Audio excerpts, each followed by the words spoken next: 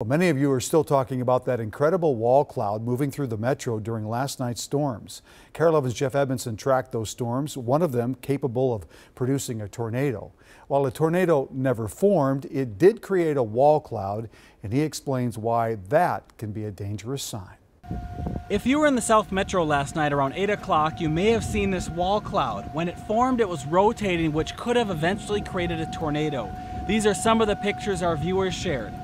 Wall clouds can be anywhere from one mile to five miles wide, and they are the inflow region of a supercell thunderstorm like we had last night. Wall clouds are areas in a thunderstorm where tornado genesis or the creation of the tornado will likely happen. In this case, storm spotters saw the wall cloud and tracked it as it moved to the south and the east. They also relayed that information to the National Weather Service, which prompted the tornado warning.